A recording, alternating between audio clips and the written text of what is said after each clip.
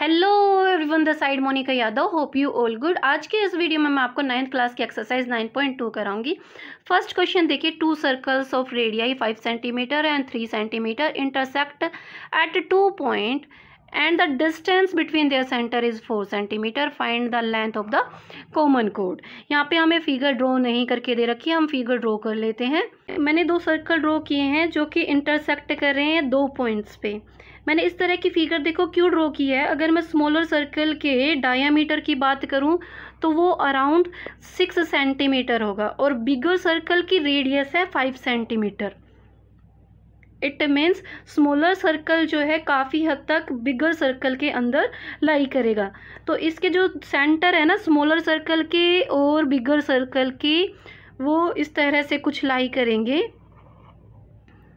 एक का सेंटर मैं ले लेती हूँ ए तो दूसरे का मैं ले लेती हूँ बी ओके अब हमें कॉमन कोड ड्रॉ करनी है।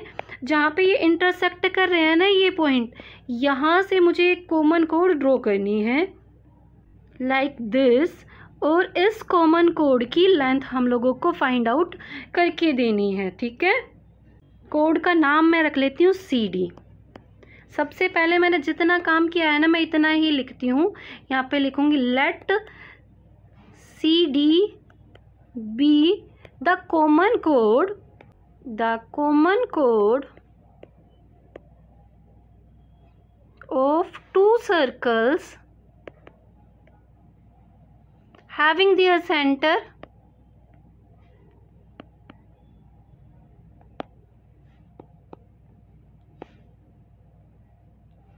A and B. ओके अगर मैं अब ए से सी तक की लाइन ड्रॉ करूँ, लाइक ए से सी तक की लाइन ड्रॉ करूँ तो इसका डिस्टेंस मुझे पता है बिगर सर्कल से रेडियस कितनी है? फाइव सेंटीमीटर इसी तरह से अगर मैं बी से सी तक लाइन ड्रॉ करूँ तो इसका डिस्टेंस भी मुझे पता है। स्मॉलर सर्कल की रेडियस कितनी है? थ्री सेंटीमीटर और इनके सेंटर्स के बीच का डिस्टेंस हमें दे ही रखा है। ये है हमारे पास फोर सेंटीमीटर यहाँ मैं लिख देती हूँ फोर सेंटीमीटर। वैसे देखो, मुझे नीड है नहीं कि मैं नीचे भी एक ट्रायंगल बनाऊँ, और अगर बनाना चाहें ना तो आप ये भी कंस्ट्रक्ट कर सकते हैं। चलो, अभी हम लोग गिवन लिखते हैं। गिवन में हमें दे रखा है सेंटर्स के बीच का डिस्टेंस जो है, वो है फोर सेंटीमीटर।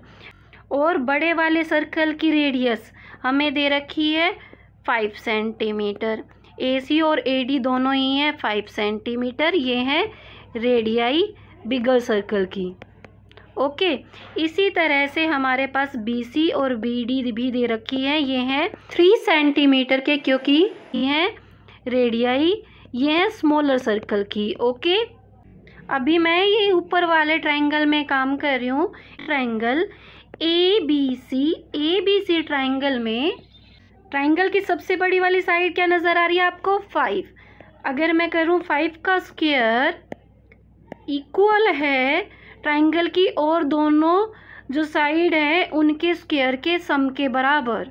तो ये क्या होती है? हमारी Pythagorean converse theorem. If the square of one side of a triangle is equal to the sum of the square of other two side of the triangle then triangle is right angle by by गोरियन converse theorem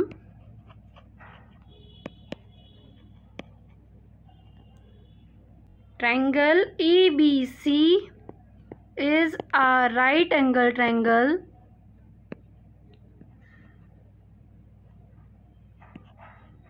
at कौन से angle पे right angle triangle होगा? Figure में देखो, ये B वाले point पे right angle triangle होगा ना, क्योंकि इसी के अपोजिट है सबसे बड़ी वाली साइड तो यहाँ पे हम लिखेंगे angle A B C okay similarly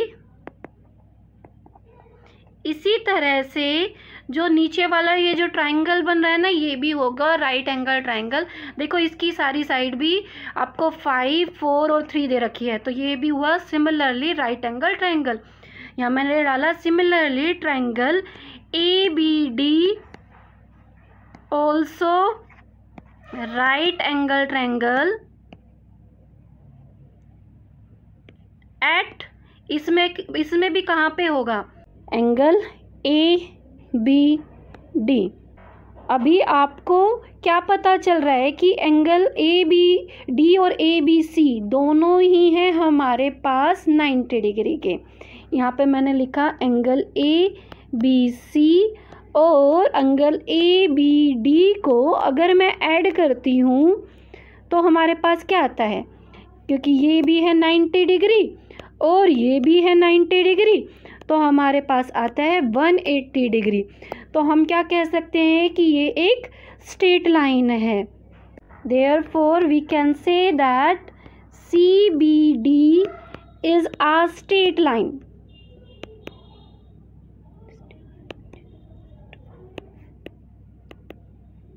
तो यहाँ से हम कहाँ पे पहुँचते हैं कि बी जो है B lies on common code C D common code C D के ऊपर भी लाई करता है। हमें फाइंड आउट करके देना है सी डी सी डी हम कैसे फाइंड कर सकते हैं? बी सी में अगर ऐड कर दे बी डी और हमें पता ही है बी सी और बी डी कितने हैं?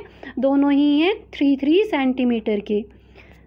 Three centimetre plus three centimetre तो यहाँ से हमारे पास आ जाती है सी डी की लेंथ सिक्स सेंटीमीटर इस वाले क्वेश्चन को मैंने इजी से इजी तरीके में आपको एक्सप्लेन किया है। अगर मेरी वीडियो आपको पसंद आई हो तो इसको ज़्यादा से ज़्यादा लाइक करना और दोस्तों के साथ शेयर करना।